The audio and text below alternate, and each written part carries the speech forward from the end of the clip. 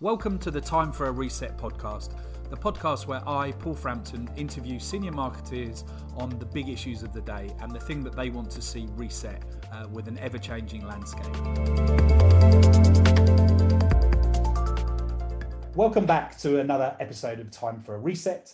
This morning, I'm delighted to be joined by Chris Carter. Chris is marketing and e-commerce director for UK, Ireland, and Spain for Specsavers. Chris has had a illustrious career, um, agency side, and then moved into Specsavers, um, and has worked on both the trading side, the marketing side, and these days looks after both marketing and the e-commerce side. So, um, very well um, kind of experienced to be able to have the conversation that we're going to have today. So, welcome this morning, Chris. Thanks, Paul. Thanks for having me. Pleasure to have you here. So, as you know, uh, we always start um, our first question for our guests um, around the topic of what you would personally like to hit reset on within the marketing space. So, um, maybe you could share with us uh, your answer. Yeah, sure. So, I think for me, uh, what do I want to hit reset on? Uh, I want to uh, try and rebalance um, the uh, or strike a better balance between the what and the and the how. and I suppose what I mean by that is um, trying to spend less time on uh, crafting uh, the plan, the marketing plan in this case, and a lot more time in actually uh, how my team, how my department, and how our partner agencies work together um, to deliver solutions. Um, I guess a lot of that comes from the the experiences we've had over the over over this year so far. Um, we were forced into a position, as I'm sure many were, to sort of ditch their marketing plans um, in the early part of the year so for us, around mid-March, we decided to, to scrap it. And um, I guess in doing that, that could have been quite intimidating for our department, for our teams, without the framework and without this plan that had been crafted over the last six months. But we we actually sort of saw the opposite. It seemed to it seemed to liberate people. There was there was more of a culture of of empowerment, collaboration, guys going the extra mile, and they were doing all of that. Um, I suppose with an added level of stress because of the times we were living through uh, and an unfamiliar environment as well because everyone was working from home rather than in the office. Yeah. Uh, and just got me got me thinking really that actually uh, the, the, way we work together and the way that our teams work together uh, arguably is much more important than the plan that we choose to put down on the page at the start of each year. I love that, um, and I think we've all heard some horror stories about um, the stress levels that people are under, the mental health uh, challenges, and the need to get stuff done. But it sounds like you guys managed to strike the right balance in terms of almost liberating the team um, to, to think differently. Were there were there particular behaviours that you identified that you focused on um, trying to work uh, to help the team to move towards, or, or did it just kind of happen organically and like week in week out you just tried to follow how things were kind of playing out? Because obviously you didn't have that plan, but I'd, I'd love yeah. to hear a bit more about it because guests would right, really benefit from understanding that story. Yeah, I think I think since we've post-rationalized some of that, um, and it might be worth touching on that in a in a moment around around behaviours. But uh, I think at the time, because of how quickly things were changing, um, a lot of it happened organically. I, I think I think there are a few sort of principles to sta- establish quite early within the business. So uh, from you know from the from the managing director to to the UK board, which I sat on, and then obviously to my to my team within within UK marketing. And some of the examples of that were uh, around um, people being empowered to make decisions in the moment. Uh, and to get those get those yeah. decisions uh, to get those decisions um, uh, wrong from time to time. Um, I think another key one was around just focusing on on one goal each day or one goal each week uh, and um, and disregarding everything else. Um, and also then undoing undoing the plan and trying to stop as much uh, as much sort of superfluous work and activity as we could. And i think i think those sort of principles really helped um, motivate and focus the minds and give a clear direction to the to the team um, which really started to to engender, I think, maybe how people felt a bit more liberated and a, and a clear sort of goal to strive towards, despite obviously the massive uncertainty that was um, uh, that was going on at the time. Sure. So it sounds like ruthless prioritization on what actually matters and trying to um, not do too many things in a week and allowing people to what is often called fail fast. Um, how do you actually make sure that that fail fast, um, make make make decisions and take some risks, actually doesn't get people don't get scolded if it does create a mistake? Because I, I hear lots of companies talk about, yeah, we have a value or behavior of encouraging fail fast. But the reality is when you talk to their employees, quite often they say, well, actually, when we have done that, we don't necessarily think the company allows that space. So what is it that you do as a leader or the company does to try and actually encourage the learning that comes out of failure? Yeah, I think um, so. I, I, th- I, think we're, we're definitely on a journey with that. I wouldn't say we're there. We're, we've, we've we've we've perfected it, but I think what I think what's really important is first of all to be sort of modelling those behaviours as a as a leader across the business, um, but also ensuring there's a there's a safe environment in which to do it. And I think certainly with the amount of activity that we will tend to, to tend to activate um, across channels over the course of the year, uh, and and given the environment we were in certainly over the course of the summer, I think there are there are certain opportunities that present themselves where actually you know the um, uh, the the consequences of of, of failure of, of something not working you know are, are actually pretty uh, are pretty small and so i think just finding those right yeah. environments to be able to then champion success and failure to the whole department as well um, is um, is is a great opportunity and then just ensuring you communicate it as well so i think over communication at the time, and I guess that's probably one of the key things we've tried to hold on to since uh, since the springtime, is also really important. So people actually understand when when you know when um, when these experiences are taking place and and and the wins and the losses that are, that are happening across the department or across the business. Yeah, this this this this thought of the marketing department making sure it communicates um, effectively is one that's come up a few times with guests actually peter markey was talking about quite often actually you forget to communicate the value of marketing inside an organization because you're so focused on the external. Um, i know we touched on in our pre-chat chris about how you kind of get the board um, and the leadership team to, to come along uh, on the journey with marketing. How how how bought in and kind of invested would you say your board is into the value of marketing like per se but also through um, through through this quite challenging period um, so i think we've been on a bit of a journey there. So i think they're very much bought in but i think there's been a few critical changes we've made certainly this year. So i think if I, if I look back over time you know we're a privately owned business. The the founders doug and mary still work in the in the business every day really passionate about the value that that marketing brings um, and the and the benefits it brings to the to the brand. So I, I think in in that respect, I'm I'm sort of lucky, if you like, that I'm working in an organisation where that that's sort of inherent in the in the culture. Um, when I think about uh, the last sort of six months, um, I think what that's really shown us is that there is a lot more that we we could be doing to communicate the benefits of of marketing and actually to um, to communicate some of the great stuff that we do for our customers uh, internally. And I guess the reason I say that is we we launched a campaign in early April um, called Open for Care because we're an essential service provider and the importance of taking a regular eye test. We were yeah. able to stay open, and we just we just started recording these these customer stories, um, and we played them out through social.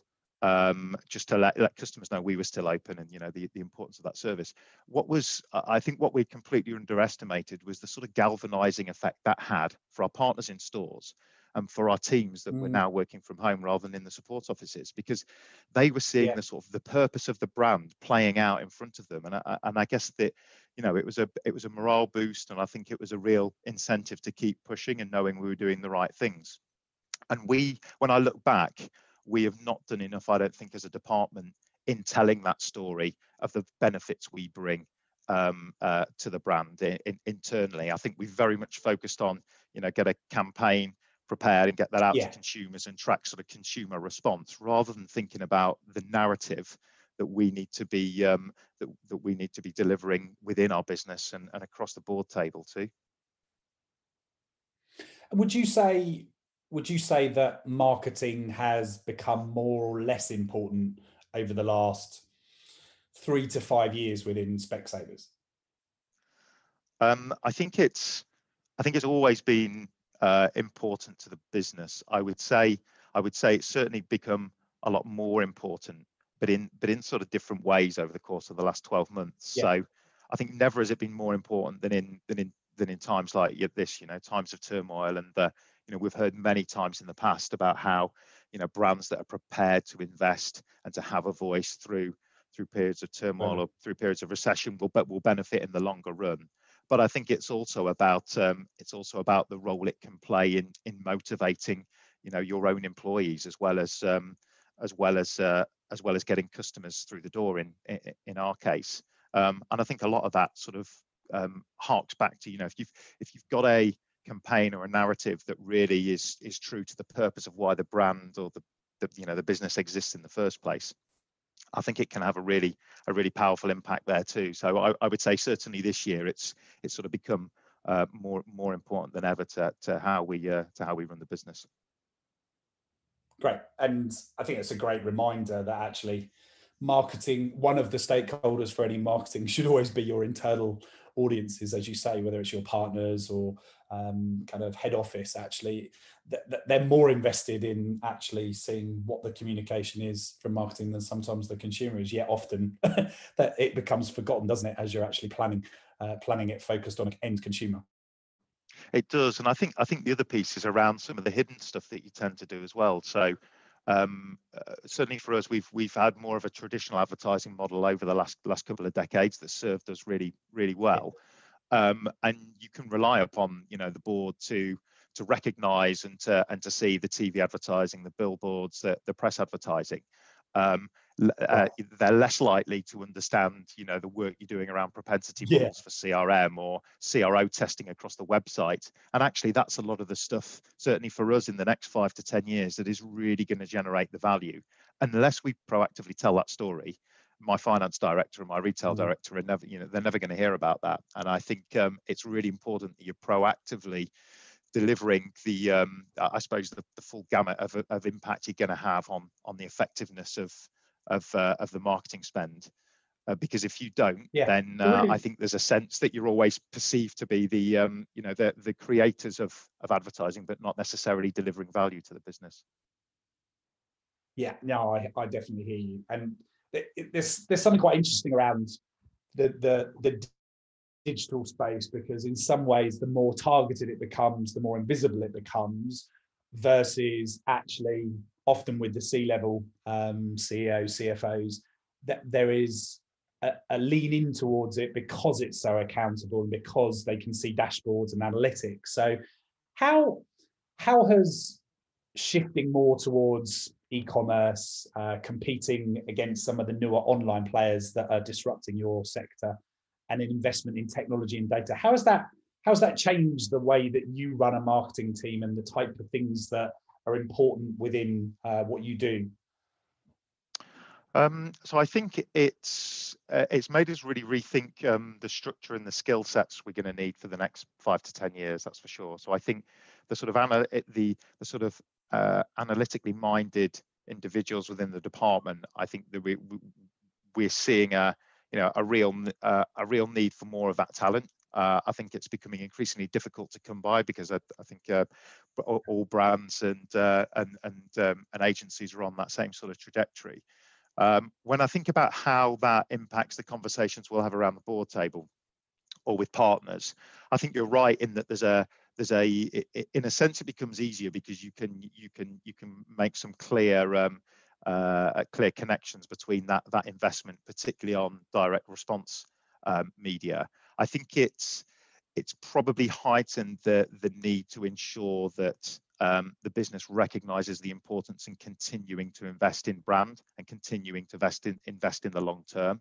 So I think that's probably become more important than ever in a way, and that that is always a more nuanced conversation because you don't necessarily have uh, the, the black and white metrics that you do around um, you know around some of uh, some of the online investment. So I think that's uh, that that is still a that is still a, a, an ongoing ongoing challenge and important to be able to um, balance the two. I think for us the other big um, big dynamic and big change is, is moving from bricks and mortar to not just I guess e-commerce but actually communicating a lot more with our consumers um, uh, online generally, both before and after their their visits, is the role that marketing plays yeah. around that that customer experience. Um, I think we've we are yet to really, and I hesitate to use the word omnichannel, but we, we've we've banded that around in the business um, for many years. We're only really just beginning to to enter that phase now, and actually the role that marketing plays in that customer experience is is probably the um, the, the biggest uh, the, the, the biggest conversation we'll be having over the over the next year or two, simply because it impacts so many other parts of our um, of our operating model um, and our and our, and our and our wider functions. So there's there's a couple of really good points you made there that I want to pick up on. Um, one was around brand, the, the, the I guess the mix between brand and uh, performance marketing, which I'll come back to in a second. The second was more about the the piece you just touched on, Chris, which was around pre and post kind of visiting a store. Um, now, media, I guess, has become, and, and, you've obviously had background working in kind of the CRM, kind of direct marketing um, space in, in, in, prior parts of your career. Media, media, with all the data that's collected, your own first party data being able to be plugged into buying platforms and everything else, has obviously made, I guess, what media may have been very broad reach. There is now possibilities to find those audiences and talk to them in different ways rather than just through your CRM, your classic email or mobile or whatever else. Do you see that as an opportunity, or do you just still see that maybe there's a bit too much potential wastage in trying to use broader media channels to do the job that CRM does? Um, does that make sense as a question? Yeah, I, I think we are. Uh, so I think as a business, we're we're still evolving our, our CRM offering. So I, I think there is I think there's an opportunity there but I think for us at the moment, um, one of the biggest challenges we have is we, we're a we're a partnership model, which is which is similar to a franchise, but effectively our directors in our stores own own their businesses. Um, the yeah. level of service and the level of customer service that our um, that our store uh, that our store directors and that their colleagues deliver is is is is absolutely exemplary. Um, but they're getting busier and busier, and we're asking them to do more and more. And one of the things right. that we we're really keen to do over the next couple of years, whether that be through media, whether that be through through CRM, is is how can we maintain that level of customer service, but actually do some of the heavy lifting for our colleagues in store so that there isn't quite so much that they right. need to do to, to make it such a great experience. We can start to do some of that before a customer even arrives with us. And obviously after they after they depart as well. So I think um, I think for us the focus is around how we can complement and maybe help with um, help our colleagues in store to be able to deliver that experience without asking them to do even more. Um, yeah. and and I think media media is, is probably a, a a a part of that, but um, but certainly in the first instance, I think there's a lot more that um, that we can do through our um, through our direct engagement with our own customer base first. Yeah, and I guess using using technology to try and deliver some of that service um, in a personalized way because I suppose the, the beauty of the partner service is that it's so personal and it's difficult to replicate that but technology is making it more possible to have some of those personalized communications um, pre and post I guess. Yeah that that's right. I mean I think you know there are instances where you know if you're if you're asking a, a, a customer to, um, to, to if you ask a customer a question before they've before they've arrived in store and they they that you know they choose yeah. to answer that and invest their time on uh, you know online and then you ask them the same question when they when they get into store you've, yeah. you've sort of undermined that experience so you're right we need to complement uh, what happens in store and and we will we will tend to um, enlist the help of our partners to actually look at which areas can we add value and make it easier for you and your colleagues and make it a better experience for customers without without actually having the you know the opposite effect and, and undermining or, or frustrating customers through through sort of duplication of effort. So you're right it is a um, it is a fine balance. And going back to your your other point around brand and i guess what is in the recent years become termed performance marketing i was uh, actually i hosted a, a workshop yesterday uh, for some ISBA members and this was a big big point discussion around how do you get that right balance between the right levels of awareness and consideration to push people through to the bottom of the funnel versus the best possible performance marketing CRO as you touched on towards the bottom of the funnel. And it's interesting we probably got I mean, as you said, you're probably a marketeer that has historically invested more at the top of the funnel and has now improved and kind of enhanced its mid mid and bottom funnel funnel tactics. There are some, and I imagine there are some in your sector that are purely D2C online only delivery of lenses or whatever else that um, probably operate very much at that performance marketing level, maybe occasionally flirt with some above the line marketing, but they look for the customers that have got intent through search or are discovering through social as their means to, to grow their business. And the reality is, a model that is purely top down and awareness consideration or a model that is too much at the bottom isn't going to create sustainable um, sustainable business. It's got to be somewhere in between. But how, how do you go about trying to find that right balance and work with your partners? Is it a combination of econometrics and analytics or is it is it modeling that your data teams do? I'm, I'm just interested in how you try to work out the right balance um, in terms of your own investment yeah, so uh, we um, we we use a mix of econometrics through a, through an agency partner, and obviously um, yeah. brand and comms and, and customer tracking too.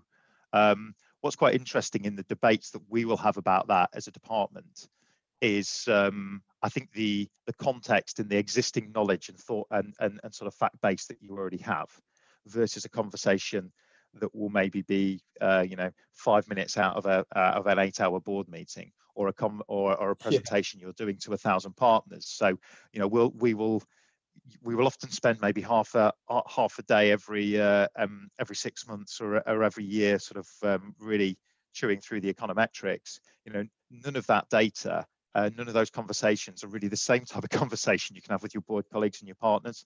And so one of the things we've we've been working really hard on is how you how you story tell in a way that um, in a way that gives gives colleagues uh, and gives our stores that confidence that we that we're striking the right um, the right balance. And I think a lot of that comes from um, looking to looking to other industries and looking to sort of objective um, objective observers as well, and just sort of telling the the story of the the, the journey we've been on over the last sort of um, 10, 15 years to try and in, in, engender that confidence on on how we go about striking um, striking the right balance but but certainly turning it into um, I suppose board friendly or um, sort yeah. of retail fe- uh, friendly language uh, I think is where the is where the real um, is where the real uh, where the real um, where the real skill is. Yeah, no, I really like that, and I, I really like the way, Chris, that you talk about the different stakeholders in the organization, um, whether it's the customers or your agency partners or the board or um, the partners in your stores, it feels like you're constantly thinking about how how the marketing and e-commerce um, team is satisfying all of those uh, stakeholders as well as obviously the end customer. 2,000 partners across the country, I mean, and indeed other countries, Ireland and Spain. Obviously, different localities, different high streets um, have got very different um, very different businesses, I guess, and some will be doing exceptionally well, particularly in this time, and some will be struggling. How important is it to get really hyper local when it comes to some of what you're doing with your advertising and your media? Yeah, it's, uh, it's a good question. So I think it was uh, it was important last year. It's it just couldn't couldn't be more important now, and I think you know the conversations we were having earlier around the importance or the, or, or the or the benefits that performance and, and data driven marketing can bring. I guess this is where it can really really come into its um, come into its own. Um, you're right we've we've got real we've got we've got stores that are poles apart in terms of the um, uh, in, in terms of the, the the demand that they're seeing at the moment. And you know you read about in the national press people shopping more local market towns doing yeah. Um, you can imagine that that's not the case for our for our stores that are in Zone One in in central London. Um, and so actually going hyper local and finding a way of actually being able to then deliver that at scale. So we've got over 900 stores across across um, across the UK. Is is is is been critically important over the last um, the last six months. And that's where actually being able to work with our with our media agencies and and and, and search partners and thinking as well around how we um, utilize um, uh, data and some of our um, crm activity so that we can deliver a hyper local hyper local approach but at a but at a mass you know at a mass scale has become has become really really yeah. important. And we've we've tended to look at sort of um, segmenting our um, our store base um, by sort of key um, by key sort of attributes um, to, um, to, to to try and make that a bit more manageable. So a really good example of that would be the you know the percentage of customer base that a store has um, that are commuters, you know that, that that live that live more than a certain distance from the store. And sure enough, you start to see the stores you would expect bubbling towards the top of that list. Mm. The approach that we take with that cohort of stores is going to be very different to um, um, to those that are at the bottom of the list. And that's that that sort of segmentation approach is how we've tried to um, to oh, make make yeah. it manageable when you've effectively got 900 marketing plans that you could arguably be um, be trying to create. Yeah, yeah, yeah. No, it's uh, it, it's interesting, isn't it? It's like there's so much that is now possible um, in terms of the tools or the targeting or the technology. Um, but as you say, you've got to find that right balance between the marginal gains and the, uh, the, the tactics versus the things that actually you can scale up because um, the, the, only challenge with all of these new opportunities is that you then need more headcount and more specialist headcount to be able to actually uh, manage it all don't you? Because search versus social versus data versus crm versus programmatic they're, they're all quite specialist skills. And you, i guess part of your job is to is to work out as you said earlier where to spend time and where to encourage the team to focus and focus on one thing a week rather than on 10 because you're unlikely to get 10 things done brilliantly. That's it that's it. And i think there are there are there are certain you know there, there are certain sort of silver bullets that come along that, that you know can benefit benefit a range of stores in in, in different ways. So a good example of that would be some work we did um, a few months ago with our media agency manning gottlieb and, and with google around um, automatically sort of upweighting our um, our advertising around stores where we knew there was good appointment availability over the course of the you know the next the next two weeks. And investing time in something like that that we know is going to benefit you know a range of stores across the country that have got the availability that can see customers rather than those that are maybe booked up because of obviously the, the pent up demand issues we have in certain parts of the country was a really good example of something that oh. that was that was working at a hyper local level for those stores that really needed it but actually was something that we could um, we could develop as a solution centrally with a relatively small team nice well look chris i really uh, um, i really enjoyed the way that you've you've talked about all of the various um, kind of aspects and actually trying to work out what is where to spend time and where the priorities are and how to make sure that everyone from the board table through to the partners that are uh, dealing with customers coming through the doors um, are, are, served properly. As we move towards the close, is there one thing that you personally um, would commit to doing more of in your organization to make sure that marketing is delivering against that mission of growing the business, but also satisfying, serving those various stakeholders? Yeah, I, I think for for me, it's it's that piece around hidden gains. So, I think the the the, the vast majority of what um, what our teams um, spend time on uh, are those marginal gains. Particularly now, we're moving into a, a world of interacting with our customers a lot more online, and I think that's something that is hidden from from our organisation, whether that's partners in store or or my colleagues around the board table. So actually bringing to light some of those stories around what we're doing with data or CRM or or some of our testing online that would just go unnoticed ordinarily. I think getting on the front foot with mm. proactive communication around the value that those changes are delivering day in day out is is really important. Is something I need to I need to put some real time and commitment into over the over the coming weeks and months. Great. And is is that the piece of advice you'd give to other marketeers, or is there anything else you'd leave listeners with uh, to think about?